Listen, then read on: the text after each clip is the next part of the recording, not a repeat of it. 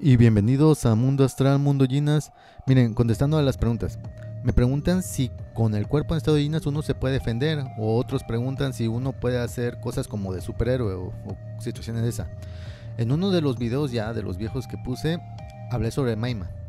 Es otro de los estados de Ginas en los cuales uno puede crecer mucho. Yo les mencioné, usualmente en el pasado quienes tenían ese poder podían poner su cuerpo en estado de Ginas y crecer tanto para poder pelear contra, en este caso, los gigantes, los leviatanes. Sí existieron este tipo de situaciones.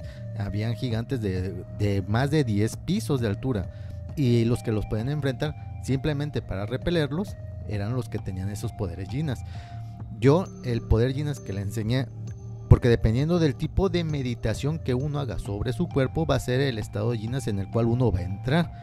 Así como así se abre el chakra, de, diferentes maneras, diferentes poderes, el estado de Ginas son diferentes poderes que puede generar para poder en este caso simplemente, como quien dice, huir o volverte invisible ante los ojos de, los enemigos, estaría el estado de Ginas que yo les enseñé, el que es acostado sobre la cama. Porque les he mencionado, una cosa es poner el cuerpo en estado de Ginas, otra cosa es entrar al mundo Ginas si tú agarras y entras al mundo Ginas, automáticamente pues desapareces o te sales de esta dimensión. O sea, ya podrías literalmente huir de un enemigo, si así lo quieren ver. Obviamente ya para cuestiones, ya obvio, ven películas, aunque no lo crean yo también, no estoy tan amargado, veo películas, también vi caricaturas como Dragon Ball, que otro pregunta, y uno sería como un Super Saiyajin, o sea, y como les mencioné en otro video, o sea, es como... Eh, el que se proclamó como avatar de Acuario, él decía que era el superhombre. O sea, poner el cuerpo en estado de llenas era volverse un superhombre. Obviamente, va como entras tú en un estado de cuarta dimensión. Técnicamente, durante el tiempo que estás en cuarta dimensión, en estado de Ginas, tú mismo, tu mismo cuerpo, ya no perteneces literalmente a, como quien dice, a esta situación tridimensional. Te escapas de esas leyes o reglas de aquí por lo cual literalmente ya no eres prácticamente un humano.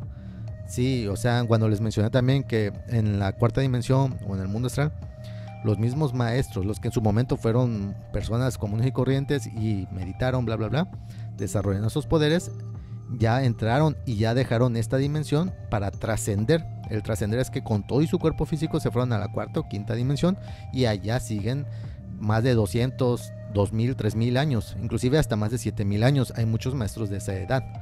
Bueno, se podría decir que de edad, porque como allá no existe el tiempo, allá es un eterno presente. Técnicamente eh, también aquí es un eterno presente, más que aquí por situaciones propias de que conocemos como el tiempo, hay cositas que sí estaría complejas de poderse explicar.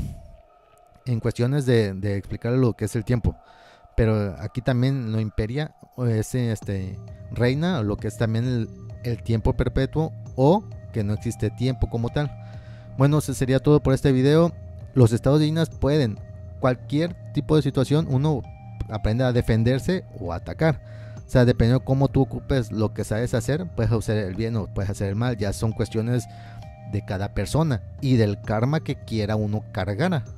Porque también eso cuando uno está consciente de otros planos y de otras este, cosas espirituales, siempre sabe que todo lo que uno haga, bien o mal, te va a cargar de karma positivo o negativo, de diferentes circunstancias, buenas o malas, a corto, largo, mediano plazo.